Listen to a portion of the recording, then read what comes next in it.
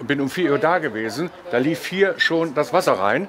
Dann wurde das Schott aufgebaut, äh, damit nicht alles in den Keller reinläuft, obwohl da ein Sammelbehälter ist. Ich habe mein Auto, was hier stand, habe ich auch weggefahren. Der Platz war auch vollkommen unter Wasser und hier sieht man ja, dass es 20 cm hoch gestanden hat. Es hat also auch hier vor der Absperrung 10, 15 cm gestanden.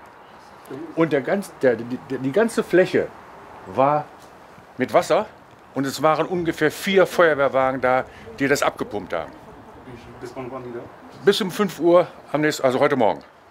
Die haben also, die haben also gut zwölf Stunden, fast zwölf Stunden haben die gepumpt, damit das Wasser weggeht.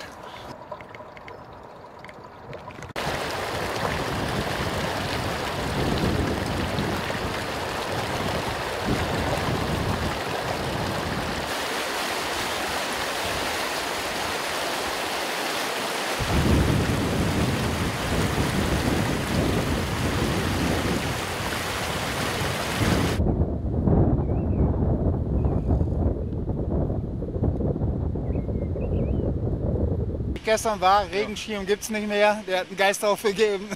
Arsch richtig nass gekriegt. Das war, kam ja Wasser runter, das war ja nicht mehr feierlich. Und heute?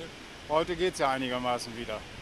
Wir sind morgens als erstes nach dem Frühstück schön äh, losgegangen. Da tröpfelte es ein bisschen und nachher fing es richtig an zu regnen und zu schütten. Und da waren wir schon geduscht, als wir nach Hause gekommen sind. Und heute? Ja, heute ist doch herrlich.